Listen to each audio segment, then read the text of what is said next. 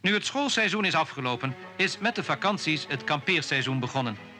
En omdat steeds meer mensen besluiten een tent te kopen en dan liefst zo'n linnen bungalow, hebben wij gemeend voor die nieuwelingen wat eenvoudige tips op film te moeten vastleggen. Als het huis eenmaal overeind staat, wat zo'n eerste keer allerminst meevalt, dan is het zaak om het goed te verankeren.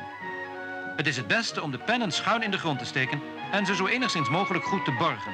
Dan bestaat er de minste kans op een luchtreis bij sterke wind. Het schoren van het frame is daarvoor ook aan te bevelen.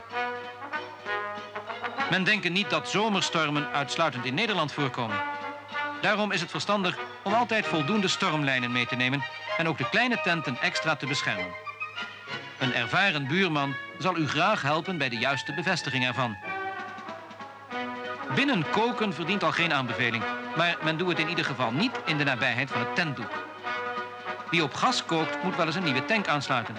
Een brandende sigaret daarbij is levensgevaarlijk, omdat er op het moment van het aansluiten zeer brandbaar gas kan ontsnappen. Hier helpt alleen een reisongevallenverzekering. Ook met de petroleum- of benzinevergasser is het oppassen geblazen. Daarbij onjuist gebruik de brander snel in een fakkel verandert.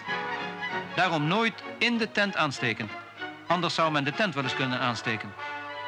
En hoewel velen de warmte zoeken, kan deze hitte toch nimmer de bedoeling zijn. Wij wensen u een prettige vakantie.